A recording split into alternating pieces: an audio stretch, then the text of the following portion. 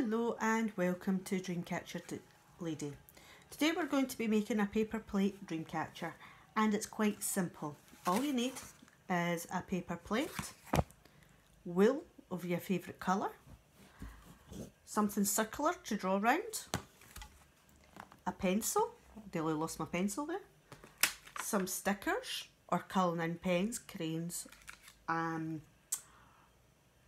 if you wish to decorate your plate, a pair of scissors, something to use to make small holes with, ideally a paper punch, but because we are in lockdown, I'm not able to get my paper punch or buy a replacement.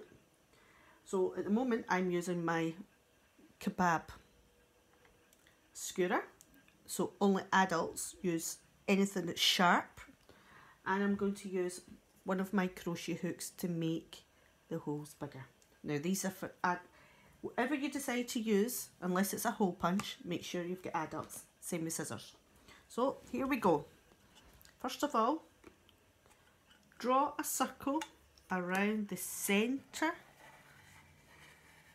of your plate and then cut the circle out. Now it's easier if you make a hole in the centre and then use your scissors to just cut as such. This is where you'll need help with an adult.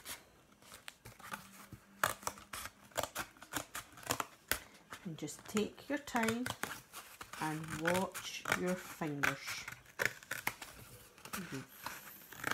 very careful. Right, now we have our circle. Now we need to make eight holes. So you need to get an adult to help you make the holes.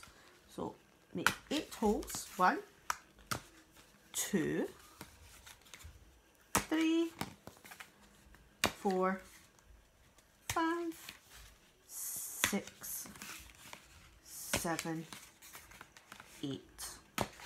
Just all the way round. Okay. Make sure you count them. Now I'm just going to make the holes just slightly bigger since I don't have a hole punch.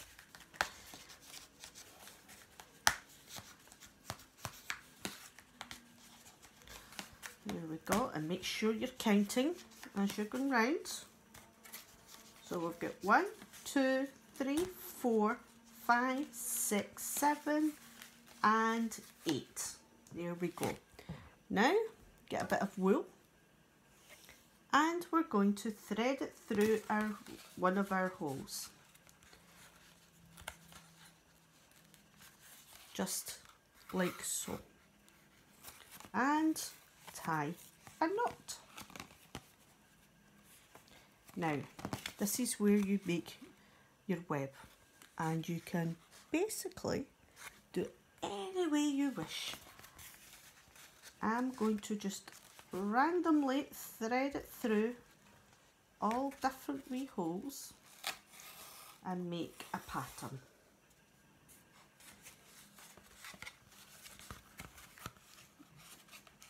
This is where it's good if you've got a hole punch because the holes are bigger and it's easier to thread through. I'm going to cheat and use my crochet hook.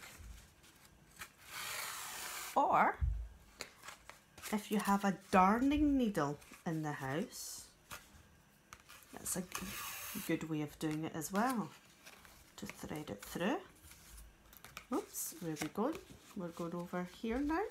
Oh no, we'll go up here to this bit. You could even ha have beads. If you've got nice fancy beads, or chunky beads.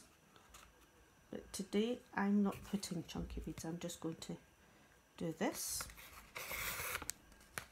There we go. And at the end, going to take it up through the very first hole we were at and tie a knot.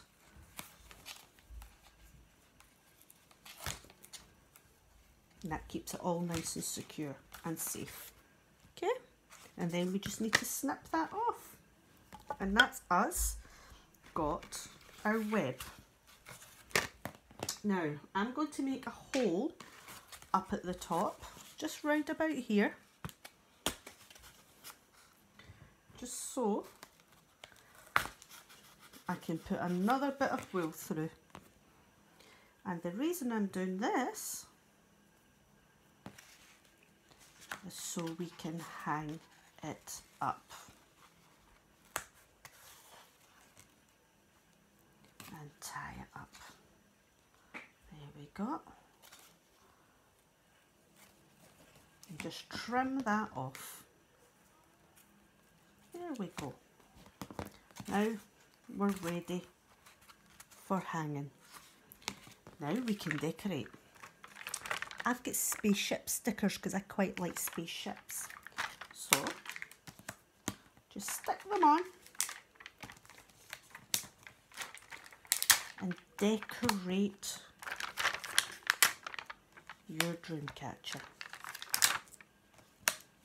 There we go. Now how is that? Now I'm going to put a couple of holes in the bottom and make some lovely strands come down.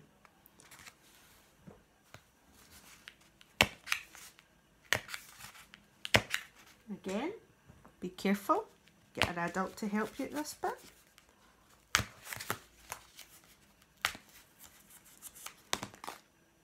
And then I'm going to cut some pieces of wool. Now you can use ribbon here as well. All different colours. As I say, I'm using pink because it's a nice cheery colour and nice and bright. Now that we're coming into springtime. Well, we're now in spring. So all the birds are starting to sing in the mornings and waking us up. There we go. And just thread that through and tie a knot. There we go.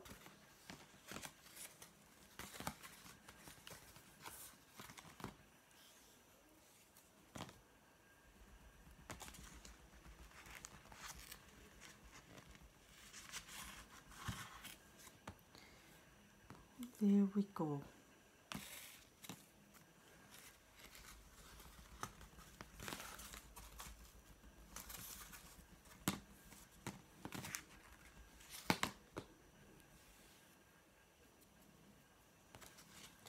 the last one.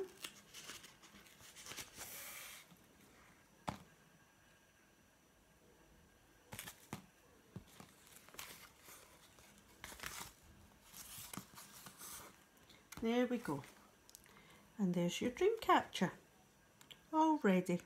Now you can put as many different strands all hanging down as you want. And then now all you need to do is hang your dream catcher up. So now you've made your dream catcher, all you need to do now, go and hang it up and take a picture and show me. Okay? Now you take care and have sweet dreams and I'll speak to you later. Bye.